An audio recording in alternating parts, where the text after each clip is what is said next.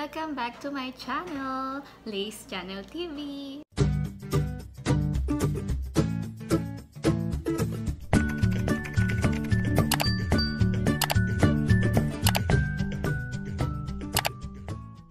So today's video, I just want to share with you guys kung ano po yung ginagawa ko or ginagamit ko para matreat yung ubo at sipon ni Isabel. So, simple lamang po. Uh, gumagamit po ako ng malunggay at dinidikdik ko yun ng pinong-pino para lumabas yung katas. Tapos, pipigain ko po yun. Tapos, papatakan ko lang siya ng konting galawansi. Tapos, isi-shake ko na at ipapainom ko yung kay Isabel. So, hindi ko pinapatagal yung malunggay ng apat na oras. Dapat, bago mag-apat na oras, pinapainom ko na kay baby yun para mas effective sa kanya yung malunggay.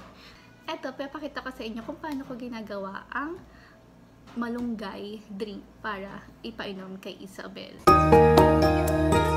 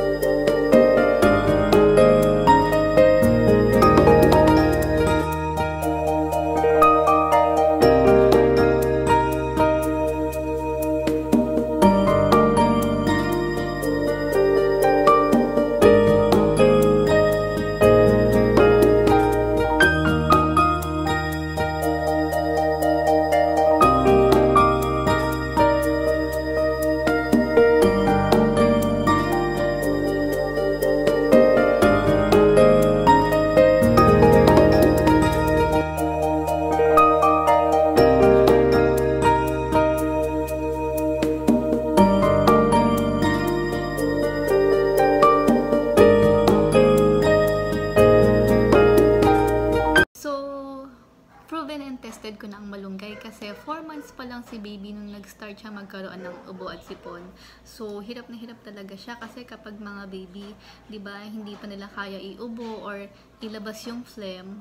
So, nag-try ako ng malunggay at super effective talaga kay Isabel. So, umabot lang ng 2 uh, ah, days na wala na yung ubo at sipon ni Isabel. Kaya, kapag tuwing nagkakaroon siya ng uh, ubo at sipon, so gumagamit talaga ako ng malunggay drink para kay Isabel. Sa about naman sa sipon, nag-try naman ako ng Dysodin. Kaso, ang tagal ng effect bago mawala yung sipon ni Isabel. Na nakatulong itong video na to, especially sa mga first time mom like me. So, yun lamang po. So, maraming maraming salamat sa aming 500 subscribers na magiging 600 na. Thank you guys! Sana uh, mag-like and mag-subscribe pa rin kayo. So, thank you! Yun lamang po. Bye!